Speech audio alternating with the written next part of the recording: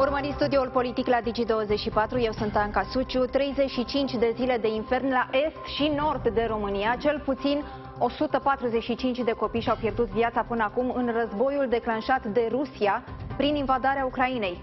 Peste 200 sunt răniți și vorbim doar de bilanțuri provizorii și parțiale. De fapt, și ONU și oficialii ucraineni se tem că numărul morților și a răniților este de ordinul miilor. Numai la Mariupol, în sud, ar fi peste 5.000 de morți. Nimeni nu știe sigur pentru că luptele continuă, iar cadavrele zac pur și simplu pe străzi și printre ruine pentru că nu are cine să le ridice. În tot acest timp, negocierile de pace nu produc, de fapt, rezultate concrete, iar pacea pare tot mai greu de atins. În aceste condiții, președintele Ucrainei, Volodymyr Zelensky, e posibil să vorbească Parlamentului României, cel mai probabil săptămâna viitoare, potrivit unui anunț făcut de președintele Senatului, Florin Câțu. Astăzi se votează scumpirea gigacaloriei în București. Dacă ne uităm la prețul fără TVA, gigacaloria crește de la 143 de lei la 330 de lei. Propunerea primarului general e discutată în ședința Consiliului General. Informațiile care vin de acolo, PNL și USR susțin propunerea, PSD cel mai probabil va vota împotrivă. Așteptăm rezultatul votului, revenim cu ultimele informații în cadrul studioului politic. E dispută în coaliție pe măsurile de sprijin pentru atenuarea impactului scumpirilor. Președintele PSD, Marcel Ciolacu, s-a întâlnit în această dimineață cu premierul Nicolae Ciucă și cu președintele UDMR Kelemen Hunor, tocmai pentru a discuta propunerile legate de voucherele care ar putea fi acordate persoanelor sărace pentru cumpărarea de alimente de bază. O decizie urmează să fie luată, probabil săptămâna viitoare, de punctele nevralgice ne povestește însă acum colega mea, Emma Stoica, toc, Stoica, tocmai pentru că am vorbit despre faptul că sunt neînțelegeri. Ba mai multe am văzut uh, prin uh, zvonuri lansate pe surse ori prin comunicate de presă că inclusiv în ce privește voucherele. PSD spune 50 de euro, PNL spune 100 de euro. S-au înțeles astăzi, s-a tras vreo concluzie, cu atât mai mult cu cât Florin Câțu a lipsit președintele Partidului Național Liberal. Bine te-am găsit, Anca, bun găsit tuturor. Este greu de a ajuns la o înțelegere până în momentul în care va avea loc ședința coaliției. Și acest lucru se poate întâmpla abia săptămâna viitoare. Am, văzut, am văzut că a fost plecat Florin Câțu, președintele PNL, din țară, ceea ce înseamnă că toate informațiile de până acum au fost pe surse. Astăzi însă a confirmat uh, Marcel Ciolacu, președintele PSD, informațiile venite dinspre socialdemocrați vor ca voucherele pentru persoanele defavorizate să fie de 5 50 de euro acordate odată la două luni până la finalul anului. Însă, în aceste zile au apărut informații și dinspre liberali. Aceștia ar vrea ca voucherele să fie de 100 de euro până la jumătatea anului trecut. Aici a spus președintele PSD că este nevoie de un buget. Banii ar putea fi folosiți din fonduri europene. Pentru 100 de euro trebuie venit cu o sumă din bugetul național. Pe de altă parte, vorbim de um, contradicții inclusiv inclusiv între PSD și UDMR. Pe de o parte, socialdemocrații vorbesc de ajutare, ajutoare tot sub forma unor vouchere pentru elevii care au burse sociale. Pe de altă parte, cei din UDMR spun că ar trebui mai degrabă să fie un after school pentru elevi.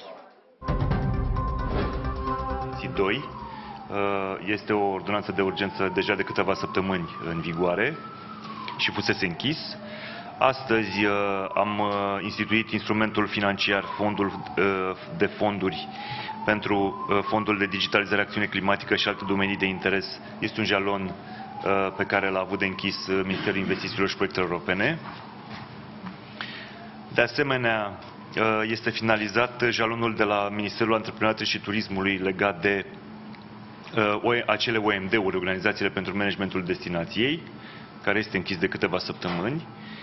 Uh, și uh, tot uh, în colaborare cu, MIP, cu Ministerul Investițiilor și Proiectelor Europene, Ministerul Antreprenoriatului, am avut de închis un jalon privind planul de acțiune pentru utilizarea patrimoniului cultural în vederea sporirii competitivității sectorului turismului din România. Un alt jalon care a fost adoptat astăzi în guvern se referă la intrarea în vigoare a cadrului de reglementare pentru cicloturism, unde Ministerul Dezvoltării este Ministerul de Reformă.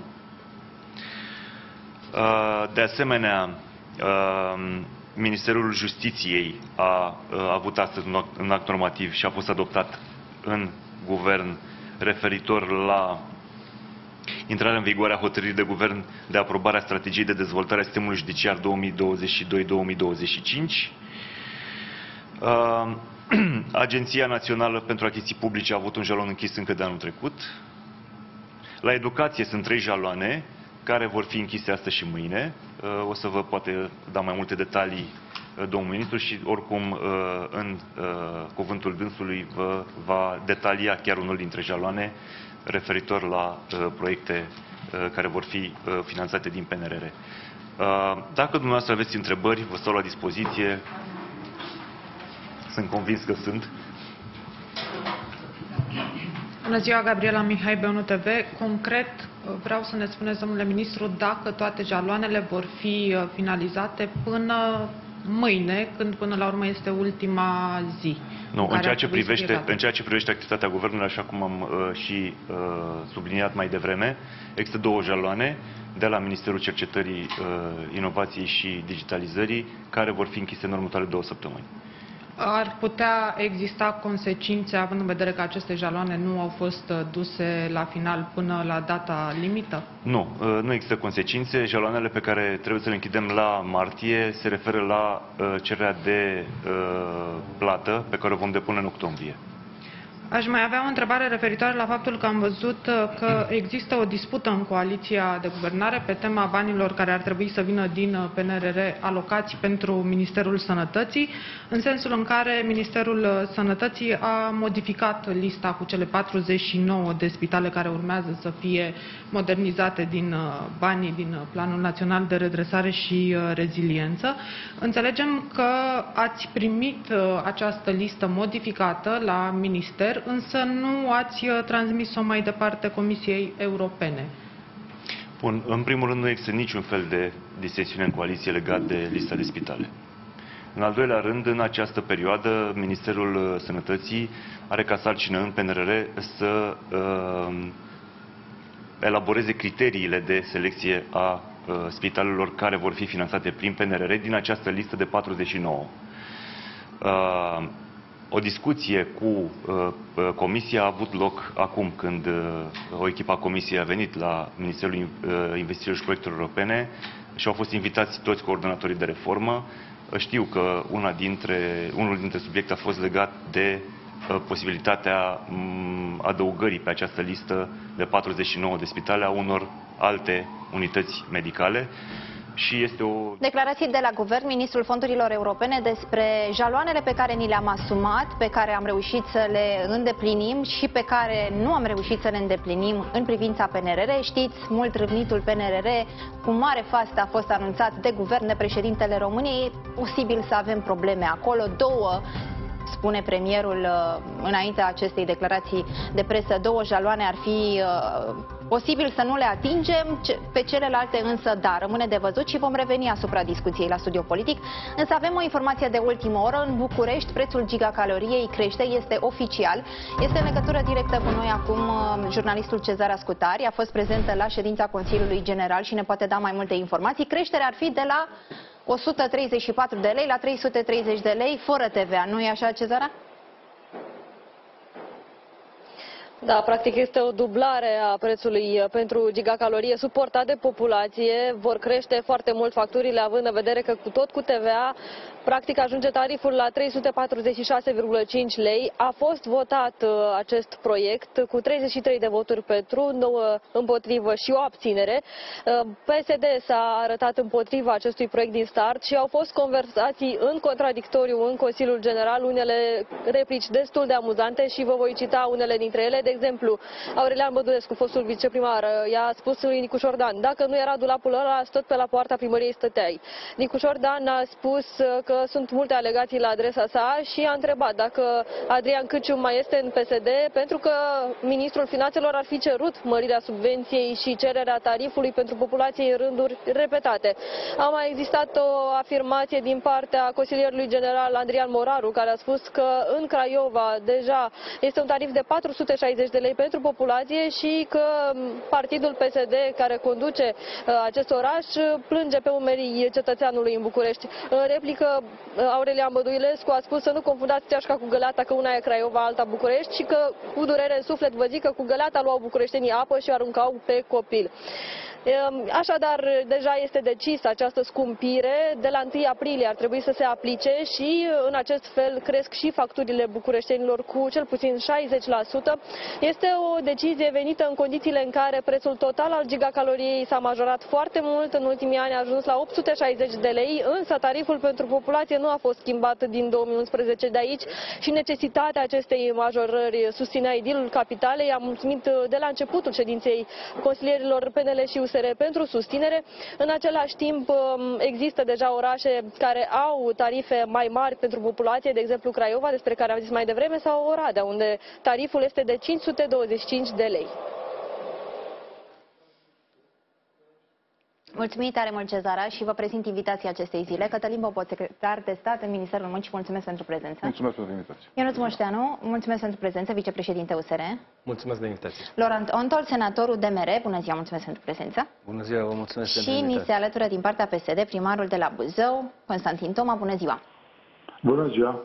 Încep cu ultima informație, subvenția la um, căldură, gigacaloria crește, subvenția scade din partea primăriei. Uh, prima întrebare vă adresez dumneavoastră, domnule primar, pentru că Partidul Social Democrat este cel care nu a votat această propunere și înțelegem că au existat și contre acolo dar ne-am obișnuit, cam aceleași personaje s-au contrat în interiorul Consiliului General. Cert este că devine oficial oricum această subvenție acordată de către Primărie Generală scade, ceea ce înseamnă că factura va crește bucureștenilor. Din aprilie urmează să se aplice din informațiile care existau. Rămâne acum de văzut dacă sunt modificări, sunt informațiile la cald pe care le avem în acest moment. Vă ascultăm. Nu este nicio catastrofă. În toată România prețul gigacaloriei este în jurul a 500 de lei. De 10 ani la București se ține o gigacalorie ținută artificial pe care nu o plătesc bucureștenii, atenție, o plătim cu toții, toți românii, pentru că așa cum știm la Primăria Generală a Capitalei sunt din bugetul central al României, din, nu din bugetul Bucureștiului. Deci, într-un fel, se face dreptate, dar prețul în București rămâne în continuare foarte, foarte mic față de ce este România. Este o discriminare și nu este corect această discriminare față de toți cetățenii României. I-ați deci, spus asta și Gabrielei Firea, că ea a fost primar general al Capitalei înainte și a păstrat acest... Politic, inclusiv partidul Domnule primar, dacă vreți un dialog, vă propun în această emisiune. Vă, poziția dumneavoastră e total diferită de cea a consilierilor generali din București, PSD. Păi să fie sănătoși. Dacă n-au dreptate, eu cum să le dau dreptate? De ce, dacă ați spus, vă întrebam înainte, dacă ați transmis faptul că e o discriminare ce s-a întâmplat la București și primarului general Capitalei, fostul, că era din partea PSD, Gabriela Firea. Să fie sănătoasă, doamna fostă primar, actual ministru, dar trebuie să fie și dreptate în această țară. Deci pentru dumneavoastră această noutate sau această informație e chiar una binevenită, adică dumneavoastră considerați că se echilibrează astfel bugetul capitalei cu Uh, Așa ceea ce are de plătit uh, fiecare cetățean în parte. Cel mai bogat oraș din România și din sud-estul Europei încearcă să dea pomană în continuare din banii tuturor românilor. Hai să creăm un sistem corect. Consilierii generali ai PSD uh, au fost împotrivă. Asta înseamnă, prin ce ați spus mai devreme, că socialdemocrații încercau să dea pomană mai departe. Domnule, lăsați-mă să nu comentez. Am un punct de vedere la care țin. Trebuie să existe un echilibru în această țară. De 10 ani de zile nu s-a mărit cu niciun leu gigacaloria în uh, București, în timp ce în România, în orașele astea sărace, noi ducem greu și, și plătim din bănuții noștri, plătim subvenția la București. Nu este absolut deloc corect. Dar spuneți-mi, cum au decurs discuțiile în interiorul partidului? Mă gândesc că ați mai discutat despre asta în interiorul partidului, tocmai pentru că din 2011 până încoace cel puțin, subvenția în București nu a fost modificată. Îmi pare rău, Buzău este într-o margine a partidului, chiar dacă domnul Marcel Ciolacu este președintele partidului. Dar nu sunt în la conducerea partidului să vă spun un punct de vedere acum. Eu vă spun Ați ocolit eleganță, spun așa. Din punct de vedere al unui primar din România. E de la PSD întâmplător. Amen. Acum vreau și opinia dumneavoastră. PNL, înțelegem că a susținut această propunere și de ce? O primă întrebare care a fost vehiculată foarte mult în ultima perioadă, dacă era momentul, cu atât mai mult cu cât vorbim de o inflație în creștere în această perioadă? Sigur, sigur, din perspectiva asta poate sunt discuții de făcut și calcule de făcut. Dar să nu uităm că uh, pentru producerea unei gigacalorii, uh, aceste companii au primit sprijin de la, au primit sprijin de la stat. Și până la urmă, domnul primar are dreptate. Acest, uh, um, această practică trebuia să înceteze. De ce? Posibilitatea de a acorda subvenții la gigacalorie este a primăriilor, care își fac niște calcule pe buget și în funcție de cât își permit, și în regulă dacă și-ar permite să o subvenționeze pe toată, este absolut în regulă dacă o, o primărie are atâta buget de mare. Dar, ce se întâmplă în practică? Iată, cum e exemplul Bucureștiului. Au dat o subvenție foarte mare, evident că banii trebuiau puși de undeva, îi puneau din bugetul local, după care, prin august, septembrie, octombrie, primăria capitalei începea să plângă la guvern, care a rămas fără bani, în buget. Și atunci guvernul venea, așa cum bine spune domnul primar, de unde? Din banii strânși din toată țara, să uh, alimenteze bugetul capitalei, care la rândul lui plătea aceste, aceste chestiuni. Ceea ce nu e foarte corect. Că până la urmă, atunci când poți, când îți permiți, când produci suficient, da, sigur, acordă ce facilități vrei, că e normal să faci asta, dar atunci când nu poți și când bugetul nu ți e suficient, încearcă, pentru că așa e corect, economic vorbind, încearcă să păstrezi un echilibru astfel încât, nu, să nu ajungi cu mâna întinsă după aceea la guvern și eventual să-l și ceri că nu-ți dă bani suficienți. Din acest punct de vedere, eu cred că, eu cred că e corect ce s-a întâmplat astăzi. Ionuț Moșteanu, explicație pentru care USR a susținut dublarea prețului la gigacalorie în București. Păi, ce să mai explicăm? Mi-a luat domnul Toma pâinea de la gură, a explicat dânsul foarte, foarte bine. E o normalitate. Din 2011 prețul era foarte, foarte jos, cel mai mic din România. E o apropiere de normal de ceea ce plătesc locuitorii altor orașe care au disponibilități bugetare, alte primării care au disponibilități mai mici. De exemplu, la mine la Pitești e 385 de lei. Iată, încă mai mare decât la București. Sunt multe alte orașe care au peste 400, uh, Constanța cred că are peste 400, Craiova are aproape de 400, Drobeta, care e un oraș destul de cu primărie destul de săracă, are aproape de 400, a spus de Oradea, care în jur de 500. Deci e un semn de normalitate, un pas făcut spre normalitate. Trebuie să, să încercăm să, acolo unde se poate, să revenim la niște echilibre dacă vreți, de piață absolut firești, pentru că altfel să, să obligăm primarii să stea cu mâna întinsă la bugetul central va crea în continuare distorsiuni. Deci colegii mei au votat, au susținut acest lucru din nou, care cred că este normal și au condiționat, au zis vrem să vedem și investiții în termoficare, e nevoie de asta, vrem să vedem posibil, posibilități pentru instalarea centralelor de quartal, că alea până la urmă sunt viitorul și au o eficiență foarte, foarte bună. Dar aici, din nou, primarul are suportul nostru pentru a face niște lucruri pe care le așteptăm cu toții de foarte mulți ani de zile. Lucrurile nu se pot schimba peste noapte, însă trebuie începute și pas cu pas, cum spune un mare clasic în viață, trebuie să modernizăm această termoficare în fiecare oraș, nu numai în București. Randantal, vă ascultăm și pe dumneavoastră. Noi nu avem consilieri eh, locale în, în, în, prim, da, în, în primăria generală. Eh, da, ceea ce pot să spun și să reiterez sau să mă rog să, să fiu de acord cu domnul primar, eh, această situație trebuie echilibrată categoric și cred că uh, primările sau, mă rog, și primăria generală din București uh, uh, poate redirecționează banii prin care a vrut să subvenționeze gigacaloria în alte uh, investiții. E un detaliu, e, nu a anunțat. Este clar că trebuie echilibrat. Eu nu sunt acum purtătorul de cuvânt nici a domnului primar general Nicușor Dan. Oricum, uh, problema legată de termoficarea din București nu a apărut uh, cu preluarea mandatului de domnul primar Nicușor Dan. E de ani de zile, zeci de ani. Aici e nevoie de retehnologizare, e nevoie de multe investiții în acest sistem și e nevoie de o gândire echilibrată și să lăsăm în, mă rog, în atribuția UAT-urilor ca să găsească cele mai bune soluții și încă o dată din banii existenți în, în bugetele lor ă, să aibă posibilitatea să facă astfel de investiții, nu neapărat subvenționare a gigacalorie și totuși suntem într-o criză energetică, suntem într-o criză energetică în care piața este extrem de volatilă, ă, prețul la gaze naturale, prețul la curentul electric ă, au crescut nu numai în România, în toată Uniunea Europeană, deci e nevoie de o conformare și încă o dată, cum a spus domnul primar din Buzău, trebuie și această uh, sau și, și acest domeniu echilibrat. Și dacă um, îmi permiteți, apropo de buget... Doar să anunț rezultatul votului, că l-am primit de la Cezar, apropo de ce s-a întâmplat în Consiliul General.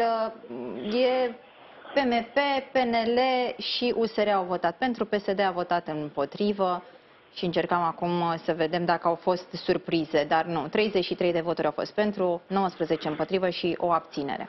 După, spuneam că după decizia din, de la sfârșitul 2021 a ANRE în privința majorării tarifului la gigacalorie, anul acesta, dacă s-ar fi păstrat acel, acea proporție, acel procent de subvenție, bugetul capitalei s-ar fi dus aproape tot pe această, pe această măsură.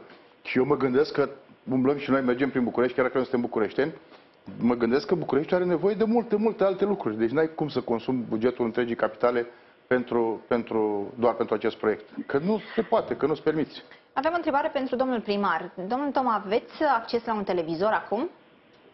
Da. Ne ajută colegii cu postarea Gabrielei Firea, fostul primar general al Capitalei, care îl critică pe Nicușor Dan că dublează această gigacalorie și aș vrea, aș vrea să o comentați dumneavoastră. Uitați, aceasta e poziția Partidului Social Democrat referitor la scumpirea gigacaloriei în București.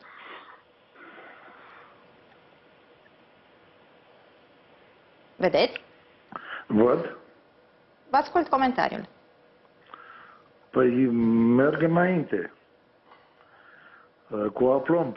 Deci nou preț propus este de aproape două ori mai mare și va fi greu de suportat de către bucureșteni. Nu cred acest lucru. Să nu se supere doamna Firea pe mine, dar nu are dreptate. Deci cum suportă toți românii care suntem mult mai săraci decât bucureștenii, cu mult mai săraci, așa va fi și în București. Și oricum, încă 500 de lei este subvenția care o suportă bugetul, până la urmă, bugetul statului român pentru fiecare gigacalorie. Pentru că prețul, așa cum a spus și Nicușor Dan, este 860 de lei. Deci vă spun ca primar, ca și, cum să spun eu, om care am fost ales de oameni la, la Buzău, încercăm să, să trecem dincolo de chestiile astea politice și să vedem realitatea. Trăim o realitate dură, războiul este lângă noi, toate prețurile la orice formă de energie au crescut și vor crește și noi încercăm în continuare să, să venim cu populism. Asta e. O încadrați acolo această postare facem la populism. Facem PNL. Îmi place cum uh, Da sau nu? Ca să nu fie concluzia mea.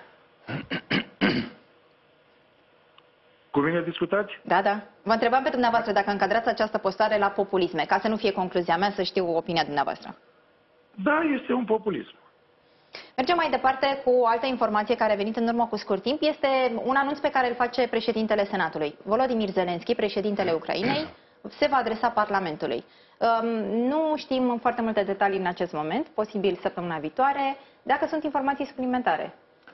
Mm, nu, doar din ce am văzut cu toții, președintele Senatului a discutat cu premierul uh, Ucrainei și au în acest, uh, în acest sens, pentru a pregăti în Parlamentul României, da, sigur că decizia va fi a birourilor permanente. Eu sunt convins că există voința, toată clasa politică s-a exprimat în, în sensul susținerii Ucrainei și da, eu sunt convins că se va, se va produce săptămâna viitoare acest, acest dialog până la urmă. Președintele României ar trebui să fie prezent în uh, plenul Parlamentului? Uh, nu știu care sunt protocoalele și nu știu ce va decide Senatul. Dacă solicitarea este de adresare uh, către Senatul, către Parlamentul României, atunci probabil că nu. Pentru că la nivel prezidențial dialogul se poartă, sunt convins și ați văzut că au avut loc câteva runde de discuții în acest sens. Așadar, dacă solicitarea este către Parlamentul României, uh, nu cred că uzanța așa, așa este. Ionuț Mășteanu, ce așteptăm de la Este un lucru foarte bun și cred că, na, practic, suntem în acea, la, la acel mare rând de parlamente europene sau din toată lumea cărora li se adresează Volodymyr Zelensky în această perioadă. Uh, noi suntem în momentul ăsta în prima linie și ajutăm pe ucrainieni, am ajutat ca țară în fiecare zi și o să-i ajutăm în continuare. Suntem vecinilor și am arătat că suntem aproape de ei. Vom fi în continuare, este mai mult decât binevenit să se adreseze Parlamentului. O să vedem exact ce va veni formal, oficial, în birourile permanente reunite. Cât despre domnul Iohannis, nu l-am mai văzut de foarte multă vreme în Parlament, deși au fost uh, ocazii, oportunități, invitații către dânsul de a participa la ședințe solemne, cred că are mai bine de un an de când am mai fost prin Parlamentul României. Este la fel și domnul Iohannis binevenit oricând în Parlamentul României. Vă ascultăm și pe dumneavoastră. Ce așteptăm de la o asemenea, un asemenea discurs? Dacă e într-un fel târziu, având în vedere că a vorbit deja în mai multe uh, parlamente, plenuri reunite, Vă spun foarte sincer, nu știu uh, dacă, adică când a venit o astfel de solicitare, oricum, uh, cum a spus și domnul secretar de stat, uh, birourile permanente o să decidă dacă o să fie un plen reunit, mă gândesc că o să fie în cadrul unui plen reunit, e logic. Dacă această solicitare a venit în către Parlamentul României, atunci e normal ca să se adreseze Parlamentul României. Acum că e târziu sau e, e prea târziu, nu pot să uh, spun neapărat. Important este să se întâmple uh, și să există un dialog. Oricum, România, cred că la capitolul de ajutor și reacție la ceea ce s-a întâmplat uh, în Ucraina a reacționat uh, destul de prompt, uh, ajutând prin diverse căi și prin Ministerul Afacerilor Interne și prin uh, diverse ONG-uri care Crucea Roșie, care, mă rog, ajută refugiații care s-au stabilit acolo lângă graniță. Deci, acum că n-a avut loc neapărat această discuție acest discurs al lui Zelensky nu înseamnă neapărat că România nu a putut să reacționeze. Deci România categoric a avut o poziție foarte fermă și clară în ceea ce privește această criză geopolitică și nu numai o poziție oficială a avut, ci și, încă o dată, reacția, adică uh, uh, a ajutat uh, prin toate mijloacele. E loc, adică trebuie să facem să existe sau să dăm loc ocaziei acestui discurs și au mai fost invitații făcute până acum de către Parlament? Adică către Parlament? Către Volodymyr Zelensky, către Ucraina să se adreseze Parlamentului. Pentru că l-am văzut pe Marcel Ciolacu săptămâna trecută. Este în birou permanent la Camera Deputaților. Întrebat, dar el apărea de grup nu a apărut în uh, nimic formal, nimic oficial, nicio hârtie până acum. Uh, din, dar lucrurile astea, în general, așa să fac, întins niște discuții high level uh, pentru a se um, a, a bate în cui o agendă și apoi uh, se demarează discuțiile formale, hârtii și așa mai departe. Pentru că întâi trebuie să vezi, poți, puteți, nu puteți, vreți, nu vreți și apoi se dau drumul la hârtii. Și Dar... prin diplomație, adică prin Ministerul Afacerilor Externe, categoric, sau, după care... Da, sau în cazul ăsta înțelegem că tot așa, așa eu lucrez cu știrea noastră, că n-am, nu știam până acum. Înțeleg că a fost o discuție informală între președintele Senatului, domnul Câțu, și premierul Ucrainei, corect? Uh-huh. Și de aici încolo o să vedem unde duc, dacă discuțiile astea informale formalizează ceva în săptămâna care urmează. Sau e doar o postare Noi pe acolo. Facebook, Twitter am mai, mai Da, am mai văzut, din, din păcate, de la domnul Câțu tot felul de idei care au dispărut în două, trei zile. Dar noi susținem o idee bună dacă iese Domnule Toma, ascult și opinia dumneavoastră, mai apoi luăm o scurtă pauză de publicitate. Momentul acesta, un discurs al lui Volodymyr Zelensky în Parlamentul României. Cred că da, președintele Zelensky cred că a acționat foarte bine și a încet, încet, la nivel mondial, și prin aceste discursuri în parlamentele unor țări importante la început uh, și-a câștigat mulți adepți, a câștigat parlamente și acest lucru cred că ne ajută pe toți pentru că este până la urmă și o luptă împotriva Rusiei, un alt fel de război pe care președintele Zelensky l-a dus foarte bine. Mulțumesc. Este bine să vorbească și în Parlamentul nostru, că nu este rău. Mai sunt și la noi oameni care, în sfârșit, nu, nu prea sunt de acord cu, cu ucrainienii și războiul lor, din păcate. Și credeți că astfel s-ar face cunoscute mai bine evenimentele de acolo din Ucraina? Că, da, este un eveniment, ar fi un eveniment și cred că ajută la întărirea încrederii oamenilor în războiul ăsta Uh, cinstit, corect, pe care îl duce Ucraina împotriva Rusiei. Pentru că și noi putem fi în această situație. Am fost duminică în Moldova, am sărbătorit 27 martie 104 ani de la unirea Basarabiei cu România și oamenii ăia sunt foarte speriați. Vorbesc de oameni din uh, românii noștri din Basarabia. Și noi suntem pe graniță. Mulțumesc. Și eu.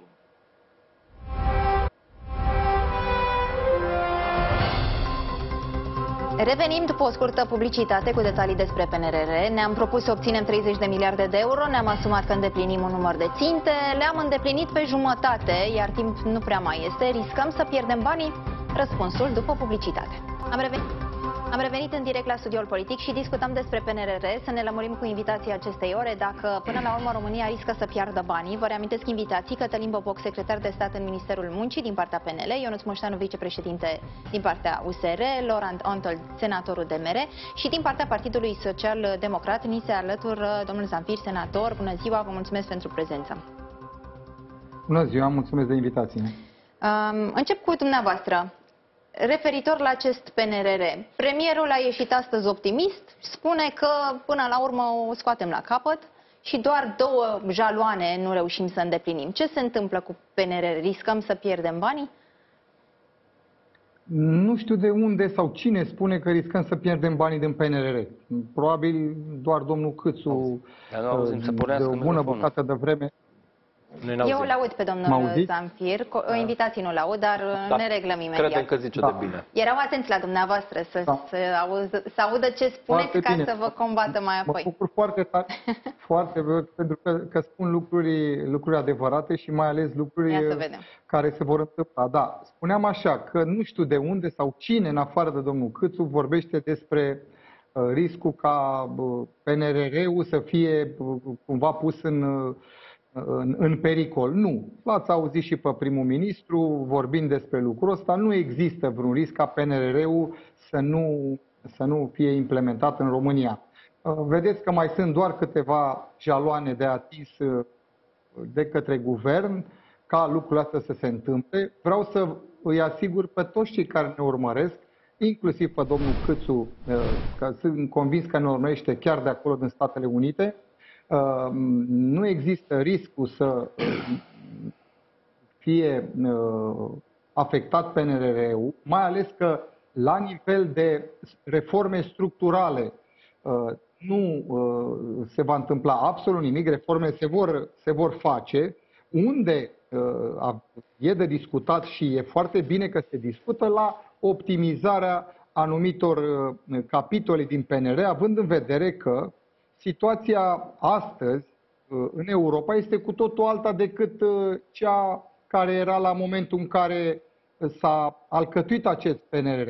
Nu vreau să intru în detalii, că nu este, uh, nu este timpul necesar pentru a, a intra în detalii, pentru că din punctul meu de vedere și Pe nu scurt, numai... din 24 PNR de jaloane am îndeplinit 11, dar premierul spune că săptămâna aceasta le îndeplinim. Două însă rămân la cercetare și la cultură, cumva cu semnul întrebării. Ori noi știam că dacă nu Da. îndeplinim toate jaloanele pe care ni le asumăm, riscăm să pierdem Da. acești bani. Grecia, Portugalia, de Eu- exemplu, sunt două state care deja fac uh, solicitările de plată. Noi ce vom Eu- face? Pe scurt, acum. Eu am încredere, eu am încredere în ceea ce spune uh, primul ministru că și jaloanele de la uh, Ministerul uh, înțeleg culturii și spuneați de uh, Cloudul cel cu guvernamental. cloud, cred. cloudul guvernamental care presupune acolo a, a iscat controverse. Sunt convins că și acolo lucrurile se vor așeza și n-am niciun motiv să cred că PNRR-ul este în pericol. Spuneam, e o altă discuție, felul în care a fost uh, conceput acel PNR, faptul că, iată, la agricultură n-am avut niciun ban uh, alocat, uh, portul Constanța, un obiectiv atât de important, uh, nu are niciun ban alocat. uh, Am înțeles. deși Mulțumesc frumos, provocările domnule senator. Laurent Dontel, riscăm sau nu riscăm? Această... e- Suntem pe ultima 100 de metri în privința Cred că solicitărilor nu de riscăm plată? uh, și trebuie să dăm, uh, trebuie să dăm declarații foarte responsabile. Nu cred că pe ansamblu uh, PNRR-ul are un risc de a nu putea fi implementat. Eu uh, mai degrabă aș spune că prin criza geopolitică uh, poate să se redeschidă o oportunitate de a corecta, de a corela mai bine uh, anumite părți din uh, așa zisul uh, PNRR. La capitolul de energie știm foarte bine că, virgulă, Green Deal-ul, Fit for 55, uh, uh, aceste ținte obiective la nivelul Uniunii Europene categoric o să trebuiască să fie rediscutate. Și domnul Timmermans deja cu câteva uh, săptămâni a declarat foarte clar că i- ar fi bine de repornit centralele pe cărbune. Uh, poate, poate și nuclearul uh, pentru Germania poate să redevină uh, o energie curată. Uh, deci sunt capitole care prin prisma uh, crizei geopolitice și din cauza războiului din Ucraina, deschide oportunitatea de a redeschide anumite discuții pe anumite capitole, ceea ce poate să fie oportună pentru România eh, de a îmbunătăți sau poate de a corecta eh, anumite neajunsuri eh, care nu au, nu au fost introduse în PNRR, dar per general, cum am spus, nu cred că există riscul ca PNRR-ul să nu poată să fie aplicabil sau să nu poată să fie atrași Dar asta bani. e o parte a discuției. În ce privește țintele, jaloanele pe care ni le-am asumat, de ce s-au îndeplinit atât de greu? Pentru că astăzi încă mai sunt uh, uh, Eu întârzieri. totuși, și știți foarte bine că vin cu foarte mare drag la dumneavoastră aici în studio, eu întotdeauna spun și îmi place sau doresc să fac declarații când anumite etape uh, ajung la final și se pune punctul pe ei. Deocamdată ceea ce privește PNRR-ul uh, sau aceste jaloane, îndeplinirea acestor uh, jaloane, nu s-au finalizat. Deci avem termen, haideți să așteptăm să ajungem până la capăt. Acum este clar că sunt Vineri. multe... Dar, dar, domnul deputat, E miercuri. nu am finalizat. Este miercuri, haideți să așteptăm până vineri și să vedem cum Să nu- Să nu închidem... facem comparație, ne uităm spre alte state europene care reușesc să absorbă și din exercițiile trecute, au reușit să absorbă bani și ele sunt în grafic. Adică ne place e... să ne uităm la alte state Și atunci facem o comparație când, când simplă. vrem să facem comparații în sens negativ la adresa României. Când e să ne uităm la exemple unde poate România a făcut pași Cum ar mai fi? importanti. De exemplu, ceea ce privește plafonarea uh, prețurilor la energie sau intervențiile în, uh, în această criză energetică. Foarte mult uh, Da, dar unde știți și dumneavoastră criticată. cât de greu s-a luat Sau criticată. decizia politică și cât de târziu au venit, de exemplu, ordinele ministerelor, astfel încât să poată fi puse în practică. Că și asta e Eu o discuție. vreau să rămân la acea, uh, acel principiu de-al meu. Încă nu s-a finalizat uh, această etapă. Haideți să vedem ce se întâmplă încă o dată. Eu revin asupra ideii. Nu cred că există riscul ca PNRR-ul să, să, să nu poată să fie aplicabil. Mult optimism în tabăra puterii. Opoziția ce spune? Opoziția sprijină, USR-ul cel puțin sprijină cât poate îndeplinirea acestor ținte și am avut pro- proiecte de legi și în Parlament chiar și săptămâna asta am, ne-am dat cu toții, zic, tot Parlamentul, toate grupurile parlamentare peste cap să trecem un proiect uh, pe destul de repede înainte pentru că e jalon PNRR. Uh, Am făcut asta de fiecare dată, sprijinim guvernul, pentru că e nevoie de bani ăștia pentru modernizarea României. Am fost în guvern Dar anul v-ați asumat trecut. că urmăriți, de exemplu, tot ce înseamnă PNRR, tocmai Da, pentru că avem- la început v-ați luat foarte multe critici. Ministrul fondurilor nu, europene da, era pentru de că la e un proiect în USR. care credem. E un proiect în care credem, la care s-a Bun. muncit mult și ce anul ați trecut. observat? De ce am ajuns în aceste ultime zile să Se- ne uităm că jumătate din jaloane nu se sunt mișcă, îndeplinite și se sunt mișcă încet controverse? guvernul. Se mișcă încet guvernul, se mișcă încet coaliția. Există uh, acea discuție despre uh, potențiala renegociere a PNRR-ului, care a fost respinsă de partenerii europeni. Și noi acum, noi când zic noi Înainte ca de țară, război. guvernul nostru, guvernul nostru trebuie să se concentreze pe a merge pe repede înainte cu acest program major pentru modernizarea României, din nou spun, și acolo are tot sprijinul. Acum, faptul că suntem cu foarte multe la două zile de, de jalon, și o să explic într-o secundă și care e, dif- că mai e o diferență fundamentală. Una sunt jaloanele, este la două zile de îndeplinire acestor jaloane, care de fapt sunt niște schimbări legislative cu care ne-a condiționat Comisia când ne-a dat acești bani. A zis, trebuie să facem niște schimbări legislative ca să îmbună- vă îmbunătățiți funcționarea ca stat. Și noi zicem, le-am făcut, dar practic le bifăm că le-am făcut. Ce în fiecare modificare legislativă? A, apoi e o altă discuție pe care o vom avea cu Comisia, pentru că trebuie să producă și niște efecte palpabile în perioada care urmează fiecare din această modificare legislativă. Deci, pe de o parte, sunt jaloane astea care sunt practic niște bife, după aia vedem cât de substanțiale sunt ele și va fi o discuție cu Comisia în funcție de care ne vor da, nu ne vor da, ne vor condiționa să refacem unele din ele, deja cele bifate în decembrie s-au mai refăcut între timp la unele dintre ele. Deci o parte este discuția despre aceste bife, aceste jaloane și o parte discuția despre proiecte, care este partea, dacă vreți, mai importantă, pentru că degeaba bifăm noi jaloane legislative dacă întârziem licitații la niște proiecte multianuale, pentru că, vă aduc aminte, uh, PNRR-ul ăsta este, uh, finanțarea prin PNRR este pentru niște proiecte care trebuie musai terminate în procent de 100% până în 2026. Ori un proiect, uh, fie că e vorba de autostradă, de metrou de la Cluj sau alte proiecte mari, de mare anvergură,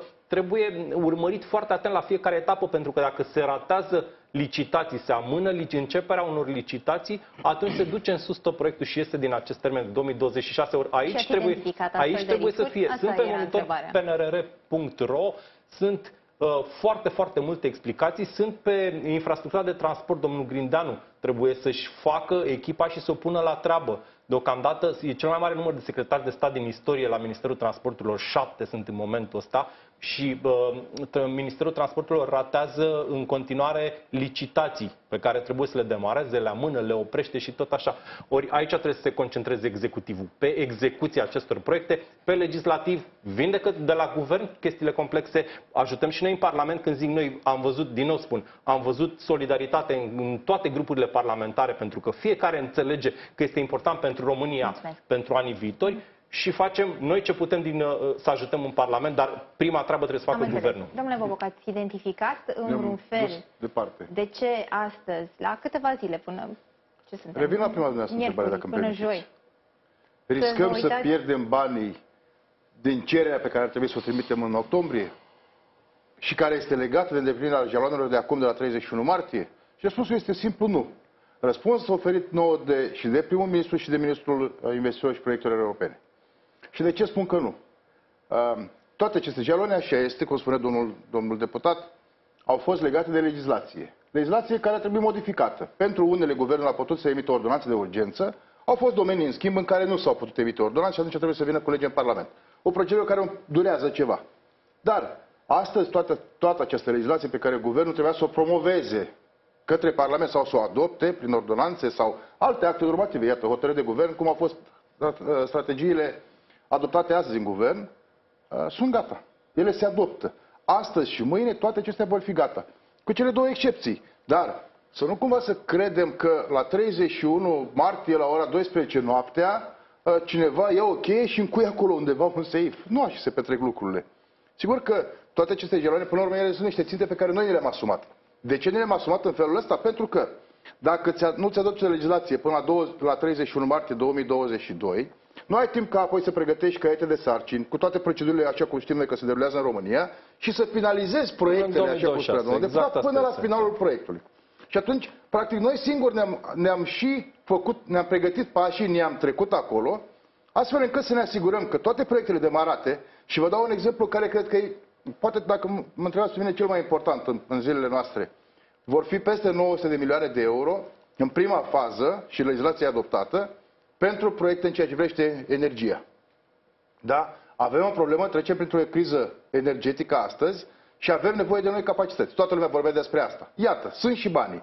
Și mâine când se va trage linie, vom fi îndepliniți și aceste jaloane, astfel încât în octombrie, când depunem viitoarea cerere, pentru că pentru cea din iunie suntem în regulă, uh, încă. să putem primi toți banii.